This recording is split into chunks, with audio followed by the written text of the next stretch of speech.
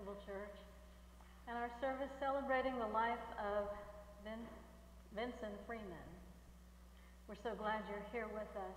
This is a full service bulletin, and so everything should be in here for you. We thank you for wearing your masks over your mouth and nose uh, to keep those among us safe who need that. We begin together on page four saying the anthem that begins, I am resurrection. So together we say, I am resurrection and I am life, says the Lord. Whoever has faith in me shall have life, even though he die. And everyone who has life and has committed himself to me in faith shall not die forever. As for me, I know that my Redeemer lives, and that at the last he will stand upon the earth. After my awaking, he will raise me up, and in my body I shall see God. I myself shall see, and my eyes behold him who is my friend, and not a stranger. For none of us has life in himself, and none becomes his own master when he dies. For if we have life, we are alive in the Lord.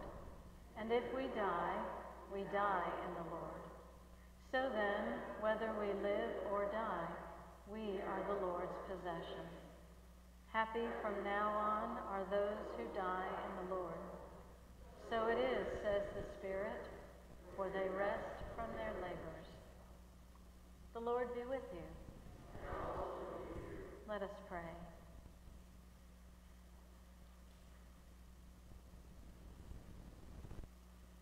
O God of grace and glory, we remember before you this day our beloved Vinson.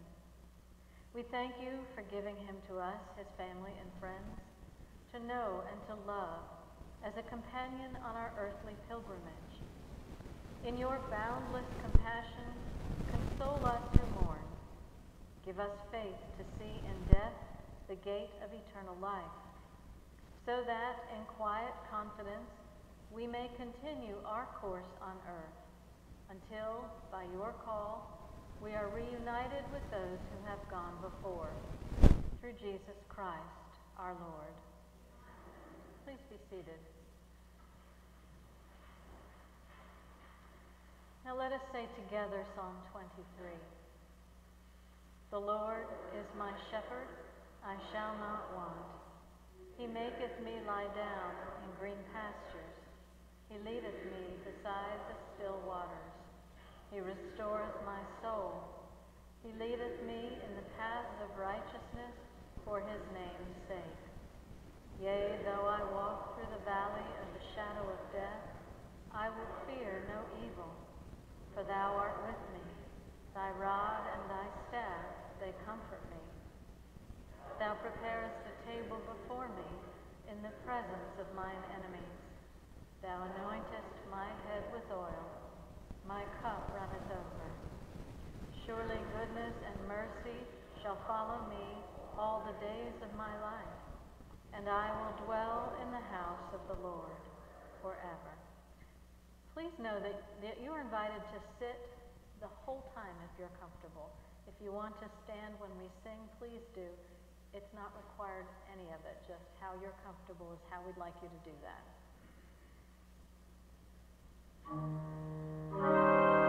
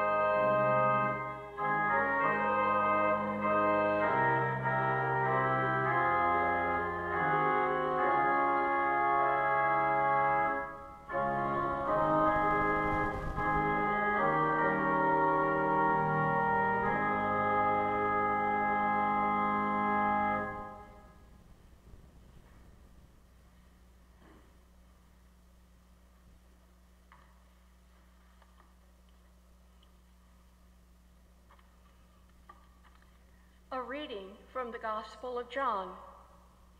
Jesus said, Do not let your hearts be troubled. Believe in God, believe also in me. In my Father's house there are many dwelling places. If it were not so, would I have told you that I go to prepare a place for you? And if I go and prepare a place for you, I will come again and will take you to myself, so that where I am, there you may be also. The word of the Lord.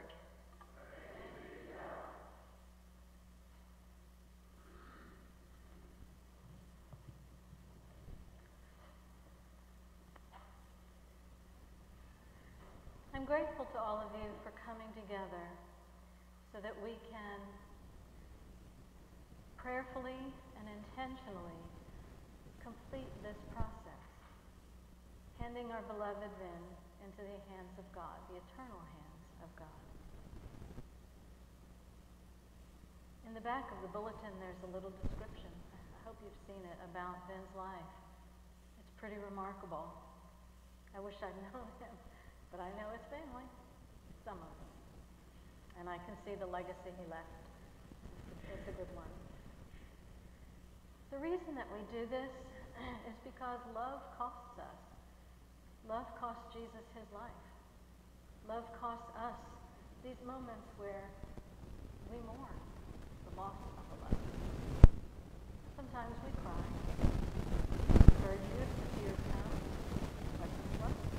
It's our living water.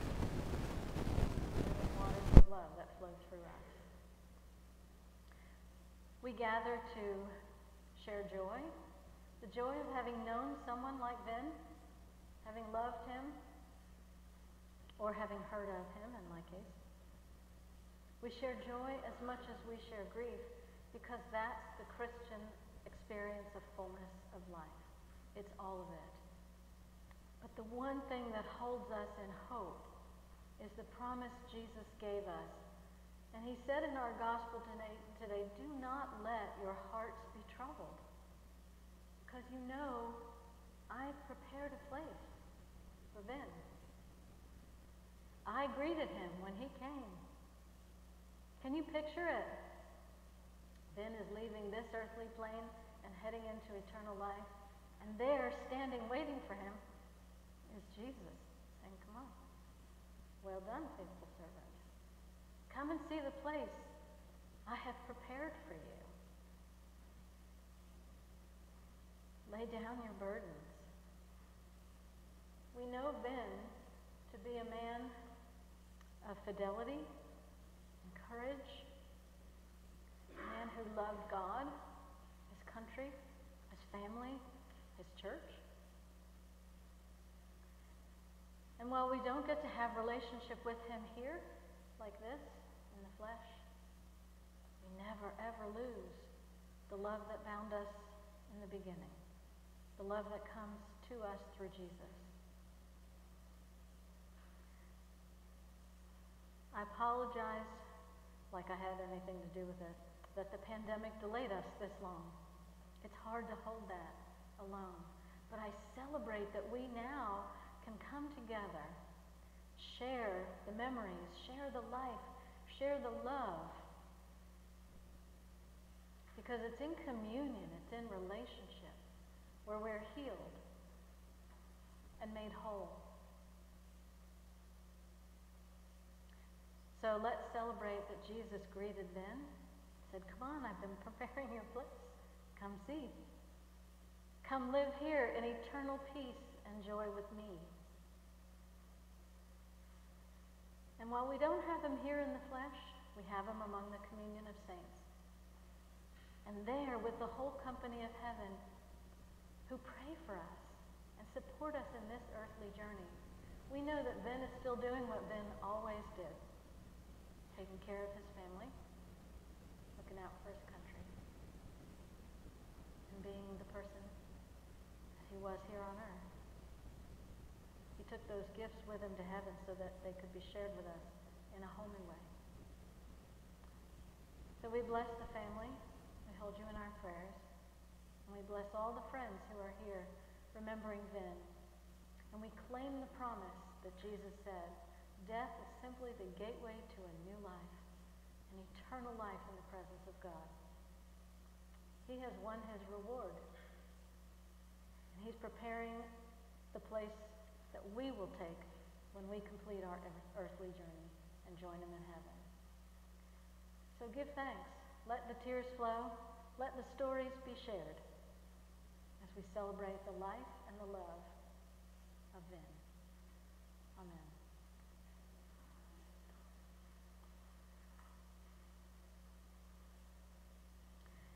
And now, in the assurance of eternal life given at baptism, let us proclaim our faith and say the Apostles' Creed. I believe in God, the Father, the Almighty, creator of heaven and earth. I believe in Jesus Christ, his only Son, our Lord. He was conceived by the power of the Holy Spirit and born of the Virgin Mary. He suffered under Pontius Pilate was crucified, died, and was buried. He descended to the dead. On the third day he rose again. He ascended into heaven and is seated at the right hand of the Father. He will come again to judge the living and the dead. I believe in the Holy Spirit, the Holy Catholic Church, the communion of saints, the forgiveness of sins, the resurrection of the body, and the life everlasting. Amen. Father of all, we pray to you for Vinson and for all those whom we love but see no longer. Grant to them eternal rest. Let light perpetual shine upon them. May his soul and the souls of all the departed, through the mercy of God, rest in peace. I now invite those members of the family to come forward and make a statement about life with Vin.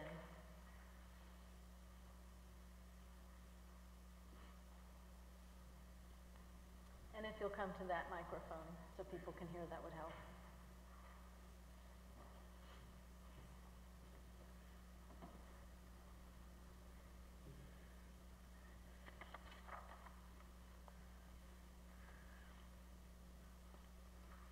Thank everyone from, for coming today. Um, we appreciate it. Family, friends, um, people that have known my dad in a long time, thank you very much. Um, it's because of the pandemic and because of the, still the current conditions, we can't have a reception following the service, and so we did want to uh, remember Dad still in, in some way with the reception. And so on the way out after the service, there are some boxes there uh, with a little memorial to Dad in terms of the red, white, and blue, and and something to take home as a as a take-home uh, reception. So please make sure and pick that up on the way out. Today's memorial service for my father is the completion of an 18-month journey since he passed away in April 18th, 2020. Because of the COVID pan pandemic, we were unable to have a full service at the funeral home and nothing here at the church, and nothing at Jefferson Barracks National Cemetery. He particularly wanted that because of the special honor awarded to the veterans of the Battle of the Bulge. My dad, above anything else, was a teacher. Everything he did, he taught my brother and I. He didn't just do something, he showed us how to do it and why we had to do it a certain way to achieve the finished product. This started with gardening. As far back as I can remember, we had a vegetable garden in the backyard. Tomatoes, peppers, radishes, carrots, cucumbers, and pumpkins. Now, Dad had a great respect for science and told us the importance of preparing the soil. He got my brother and I folding GI shovels so that we could help participate in digging and breaking up the soil. I'm not so sure he had complete confidence in Mother Nature. He would get up early in the morning and go out in the garden with a Q-tip and a sheet of paper and tap pollen from the flowers on the tomato and other plants onto the paper, and then take the Q-tip, scoop up the pollen, and pollinate the plants themselves. In addition to gardening, he got us a wooden tool chest, and we both painted them yellow. Uh, we got a saw and a hammer and a screwdriver to start our collection. Over the years, he would fix electrical and plumbing in the house and show us how to do it with him. He replaced the water heaters. He fixed the clothes dryer by replacing the thermocoupler. He showed us how to build things. He helped us with science fair projects. He was very precise and exact in detail. Once he had to open the sewer drain from the front of the house to the street. I remember specifically him digging the trench and the hole to get to the pipe junction. The unusual part was that he made stairs in the dirt to go down to the trench. He didn't just dig a hole and use a ladder, but he actually carved out stairs in the, in the dirt to get to the bottom. The, this, that preciseness was apparent during a science project for school. We were to make a cubic centimeter and bring it to class. Most of the students cut one out of balsa wood with a razor blade, and that was it. Dad went to the hardware store and got a small aluminum rod and brought it home. Then I had to use a hacksaw and a file and keep filing and measuring until it was exact. Needless to say, it impressed the teacher and was the example of how big a cubic centimeter was. We built a huge box kite in the basement of our house. I think I was about 10 years old at the time. The object was to make it the biggest kite that we could and still get it to fly. I believe it was about eight foot tall. We made it out of butcher paper and wooden dowel rods and lots of Elmer's glue. We would practice flying it at Kenrick Seminary in the parking lot. Then we took it to the park for a kite flying contest, and we got a prize and an article in the Post Dispatch. We also got an interview at KETC Channel 9 Studios, and, which was very exciting for my brother and I. So, my dad was very active in Boy Scouts with us and went on many weekend campouts with us. It was a lot of fun to go camping. This led to our family vacations as being camping vacations. Mom and Dad got us a three section tent. The center was the entrance, and the two sides were for sleeping. In order to make this work, we practiced in the backyard, setting up the tent and taking it down. My brother and I separated all the poles and put them at the corners. Each of us had a corner, each of us had a section to raise up for the center part and put up the poles. It was very organized. We also built a camp kitchen in the basement from a plan that Dad had ordered. It was a table, stove holder, pots and pans holder, and it all folded up into one box. Tent camping, tent camping came to an abrupt halt after our vacation to Myrtle Beach. One day, my dad, brother, and I went on a deep sea fishing boat. Mom stayed back at the campsite. It was a rainy and windy day, and apparently the tent was leaking and it was miserable. Mom's only refuge was to stand in the ladies' restroom building until we got back. That was the end of tent camping. We still went camping, but used a small trailer from that point on. That brought up a whole new set of duties, leveling the trailer, hooking up the utilities, and dumping the tank when we left the campground. As we were growing up, there were two distinct landmarks that Dad made us aware of. First was Ted Drewes frozen custard.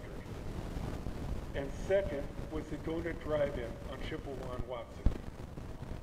We would get donuts on Saturday night and have them on, for breakfast on Sunday morning.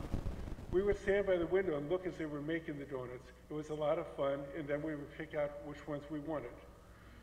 But more important about the donut shop was a plaque inside on the wall, and it said, As you ramble on through life, brother, whatever be your goal, keep your eye upon the donut and not upon the hole. He was a perpetual optimist through his entire life, always pushing himself and us to go more and keep a positive outlook on life. He made that more apparent whenever there was a crisis or unexpected setback. He would not look at the negative, but he would look at it as a learning experience. My dad would continue to do more even as he got older by participating in Senior Olympics. He, his specialty was race walking, and he loved it. And he won some, many awards for that and participated in, in other events too. When I moved to Las Vegas, my dad took on another very important role. He took my place for my daughter when there was a father, when there were father-daughter activities. I very, am very appreciative for him for doing that. I have moved back here to St. Louis now, and when I do repair work on my new old house, it was built in 1938, 37, 38. Uh, Mom is always curious as to how do I know how to do these things? How do I know how to fix these things?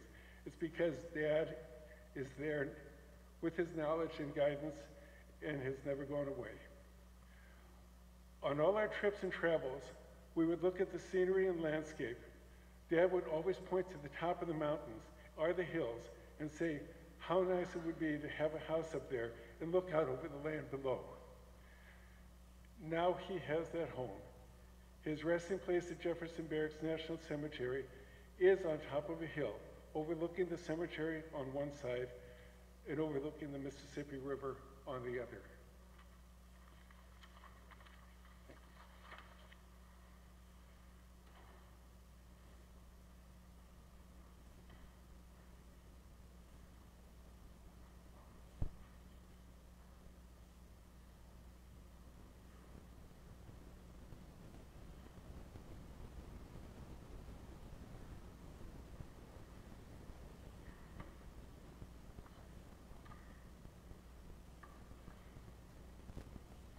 I have so many wonderful memories of Grandpa.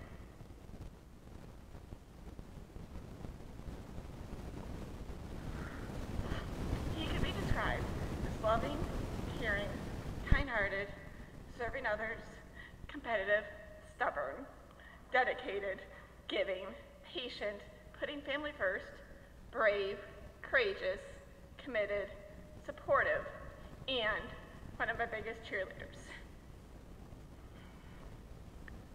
He and Granny have been involved in every part of my life. From my birth, baptism, first communion, confirmation, honor society inductions, and orchestra concerts.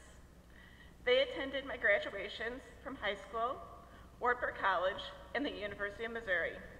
They attended my dance recitals, Girl Scout events, and helped with science fair projects. We loved going to Cardinal games. A very special Cardinals game was when we celebrated their 65th anniversary and his 90th birthday in the Cardinals Championship Club. Birthday celebrations. The birthday person always got to pick their favorite restaurant of choice. Granny and Grandpa gifted me by taking me on numerous trips and showing me a slice of America. I will always treasure those trip memories. Grandpa taught me many card games, including poker, um, we played three-person solitaire when they babysit me, sat me, and we loved that. Most recently, we were playing Five Crowns and Rummikub. When playing games, Grandpa was very competitive. Everyone for themselves, he would say. He showed his patience in try, trying to teach me to play golf and fishing my ball, ball out of the water and searching for it in the woods. Pool in the basement, bowling, teaching me to drive in parallel park. We loved riding bikes on Easter and on most of our trips. I enjoyed going down their steep hill in the backyard in the snow, planting, planting and gardening in the backyard, and helping him hang the Christmas lights on the gutters and bushes and putting up the Christmas tree.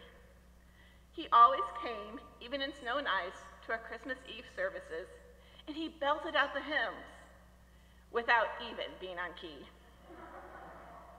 He had a talent for his wonderful grilling skills, especially with pork steaks and hamburgers. He got me started on my love for black olives. And at dinners, he and I, we sometimes had to be the last ones to take the olives in order to make sure that everyone else would have some. I am so fortunate that he and Granny showed me the United States from coast to coast and took me on trips every summer, starting in 87 and through my high school graduation in 99. They took mom and me on trips over spring break to see the Cardinals at spring training, Disney, and Sanibel Island. Some highlights from some of our trips include camping in the trailer and Granny and I feeling earthquakes as Grandpa moved around the trailer getting his midnight snack of pretzels and beer.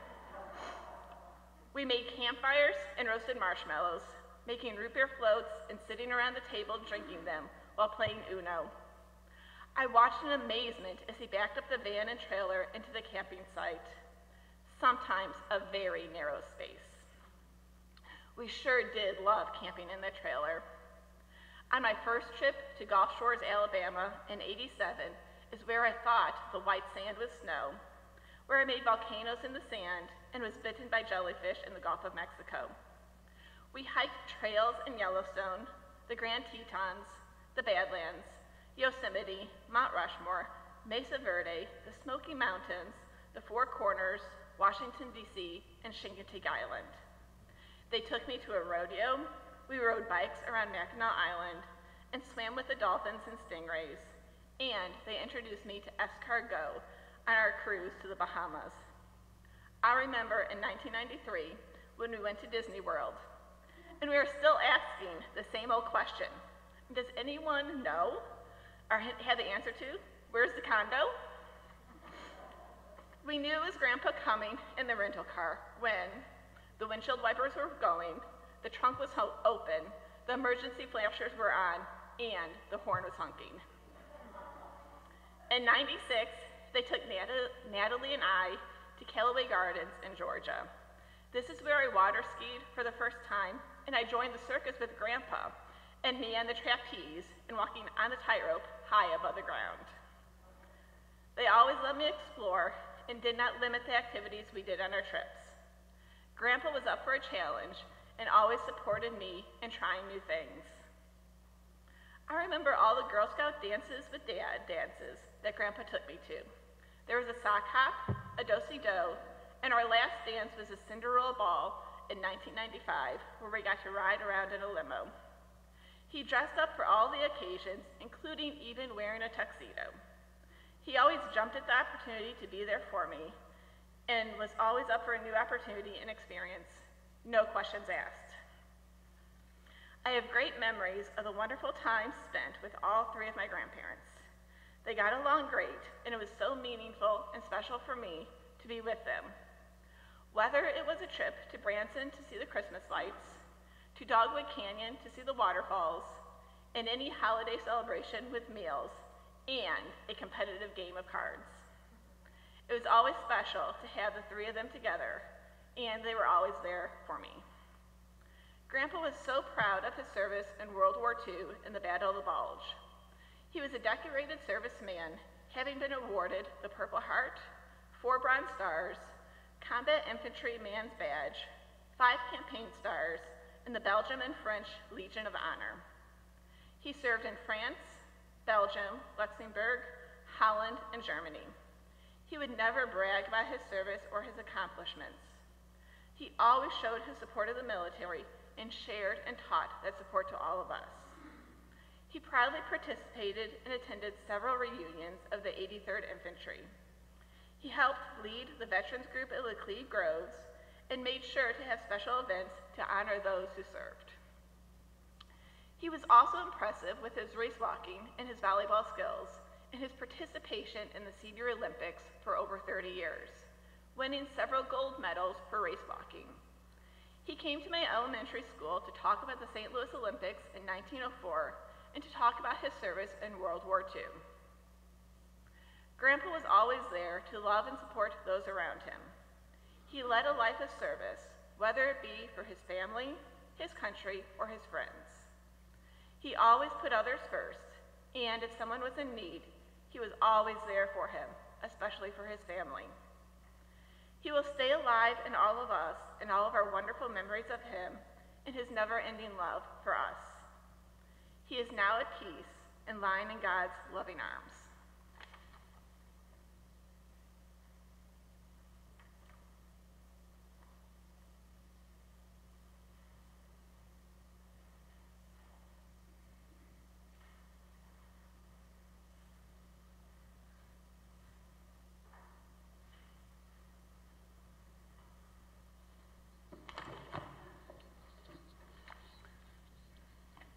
My earpiece always comes out when I take off a mask.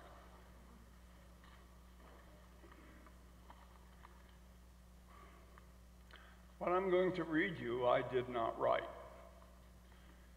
But a soldier did, our daughter, Leslie.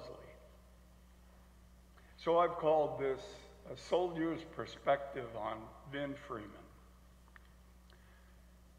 I shared with Jim a few minutes ago that my daughter, who was in service, rose to the rank of major, still has some of those skills because on my copy it says edited version, which is major talk for dad, leave it alone. So she is speaking to you. I have known Vin my whole life, at least as long as I can remember. As a kid, I knew Vin and Flo as my parents' friends, whom we visited occasionally. When I joined the Army, Vin and I found a new connection to one another. But it was after my wartime military experience that my bonds with Vin were really strengthened. As I've experienced with others, there seems to be a shared understanding of the stresses and tragedies of living through a war.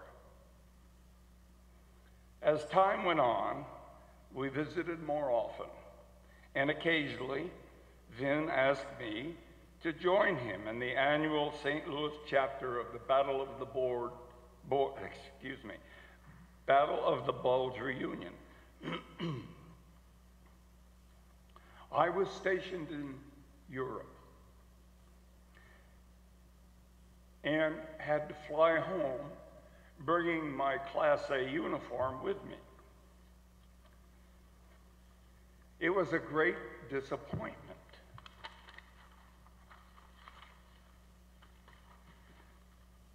When one of my flights was delayed, causing me to miss the next flight to, to, and miss the reunion entirely.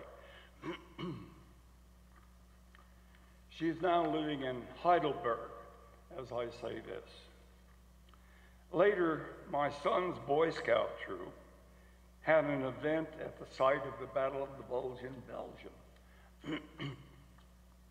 it happened to be the 65th anniversary, 2010.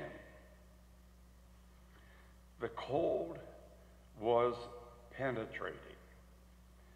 Many Belgians had restored all manner of American World War II equipment and drove them that day in town. There were tanks and jeeps and artillery.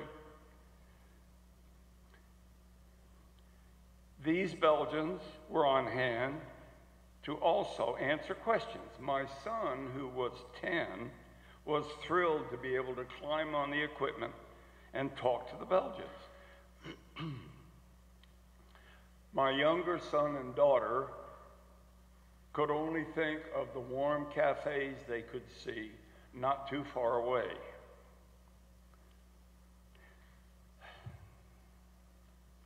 You could imagine how cold it would have to be for the soldiers during the Battle of the Bulge. Later, we watched a parade of World War II veterans march in the freezing weather. The youngest man in the group was 84. On the location of the battle lines outside of town, a museum has been built to honor our American heroes. In the museum, we learned that 67,000 American soldiers gave their lives. Vin was there in the cold fighting for our country. He had joined the Army just a year prior at age 20. Vin first took part in the Africa campaign. That also liberated Italy. As Vin's unit advanced north in Europe, sending the Germans running, his unit eventually made it to Belgium. Hitler knew his days were limited, and he decided to attack at the weak point the American lines at the Battle of the Bulge. He wanted to score a breakthrough, separating the Allies. Vin was awarded the Silver Star for his bravery in battle. Most people that win the Silver Star die winning it. Beside, the French awarded him the Croix de Guerre, Cross of War. This is the highest award the French give to a foreigner. Vin helped liberate France as well. This means that Vin saw atrocities and fought under unimaginable conditions in the most difficult parts of the Battle of the Bulge. Vin eventually used the Army GI Bill to attend Washington University. There he met his lovely bride, Flo. Flo was not only organized, caring, and attentive, but also became a wonderful nurse to Vin over the past 10 years in, as he dealt with many health issues. Vin was very proud of his sons, granddaughters, and great granddaughter. It was heart wrenching to see he and Flo suffer when their son Don died unexpectedly a few years ago. Vin would be so pleased to know that Jim has moved back to St. Louis to help his mom. Finally, 10 years ago, I was able to speak at one of Vin's Battle of the Bulge reunions. I was happy to mention to all the soldiers in attendance how much the Belgian people appreciated their sacrifices. I also related how fourth and fifth generations of Belgians are taught about the heroics of the American men. Even after retirement, he was a, he, and he, his retirement as a successful person, he continued to serve. He always sought out other veterans and encouraged them to connect with the VA for health care. In his last years at Laclede Groves, he helped keep the veterans group there organized and assisted in planning the monthly meetings. Interestingly, like most survivors, Vin never talked about the horrendous things he faced at the Battle of the Bulge. Vin lived his life well and was a true American hero in every aspect, and my life was richer for having known him. Vin, thank you for your service.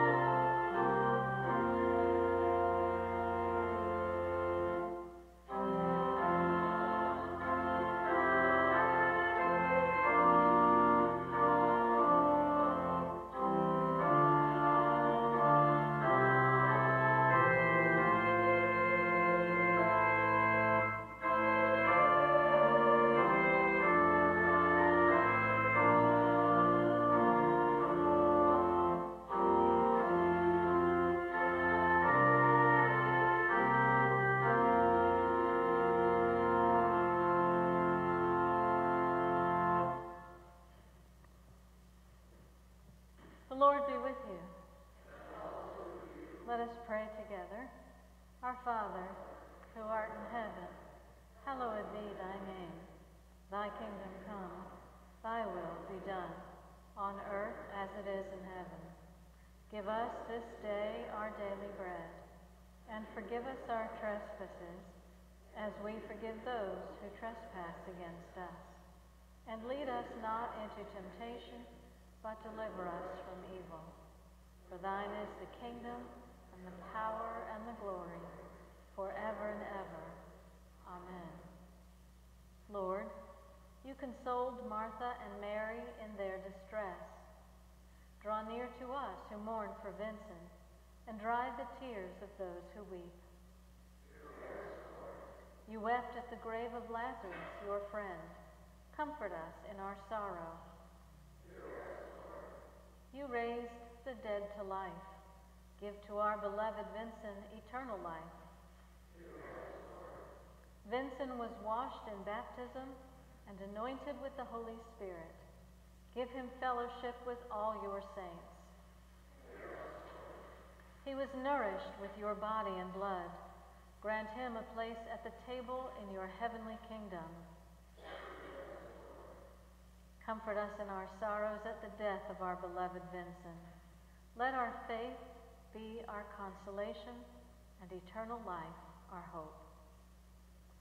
Most merciful God, whose wisdom is beyond our understanding, deal graciously with Vinson's family in their grief. Surround them with your love, that they may not be overwhelmed by their loss, but have confidence in your goodness and strength to meet the days to come. Through Jesus Christ our Lord. The Lord be with you. Let us pray. Give rest, O Christ, to your servant with your saints.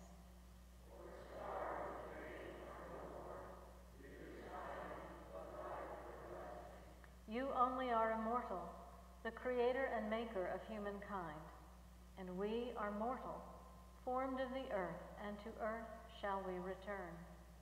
For so did you ordain when you created me, saying, You are dust, and to dust you shall return. All of us go down to the dust, yet even at the grave we make our song, Alleluia, Alleluia, Alleluia.